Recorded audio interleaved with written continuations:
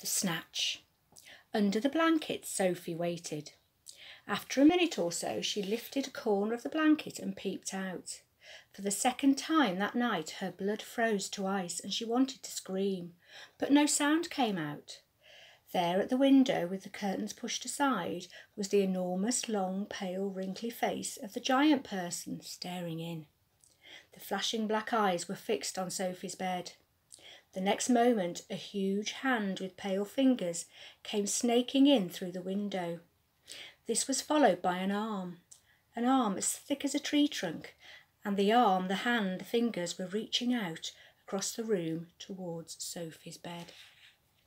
This time Sophie really did scream, but only for a second, because very quickly the huge hand clamped down over her blanket and the scream was smothered by the bedclothes. Sophie, crouching underneath the blanket, felt strong fingers grasping hold of her. Then she was lifted up from her bed, blanket and all, and whisked out of the window. If you can think of anything more terrifying than that happening to you in the middle of the night, then let's hear about it. The awful thing was that Sophie knew exactly what was going on, although she couldn't see it happening.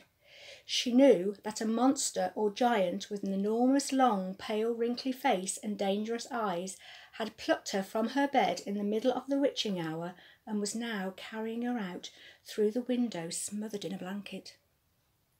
What actually happened next was this. When the giant had got Sophie outside, he arranged the blanket so that he could grasp all the four corners of it at once in his huge hands, with Sophie imprisoned inside. In the other hand, he seized the suitcase and the long trumpet thing, and off he ran. Sophie, by squirming around inside the blanket, managed to push the top of her head out through a little gap just below the giant's hand. She stared around her.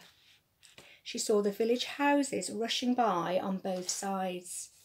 The giant was sprinting down the high street. He was running so fast his black cloak was streaming out behind him like the wings of a bird. Each stride he took was as long as a tennis court.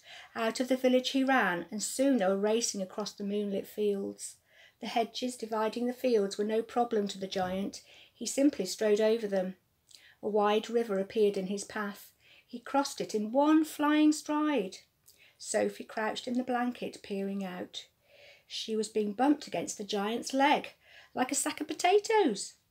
Over the fields and hedges and rivers they went, and after a while a frightening thought came into Sophie's head.